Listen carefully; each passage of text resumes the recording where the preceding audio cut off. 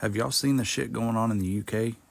This is fucking crazy, guys. So this is the story that I got that pretty much ignited this whole shit fire that's going on over there.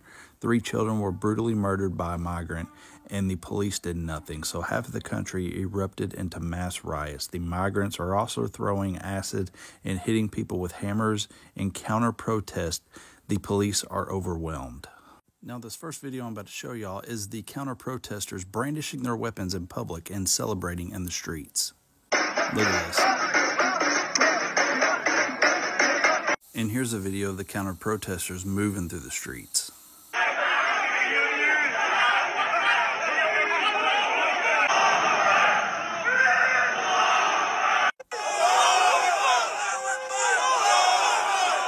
And the crazy part is, is I haven't seen anything about the counter protesters getting any kind of punishment. It's the local citizens that are fighting back that are getting arrested and pretty much getting punished.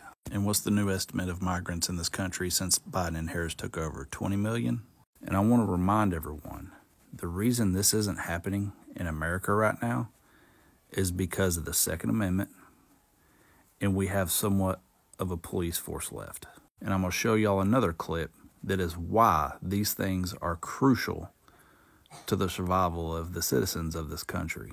I'm fixing to show you a video of the police force being so overwhelmed over in the UK that they are bowing to these counter protesters.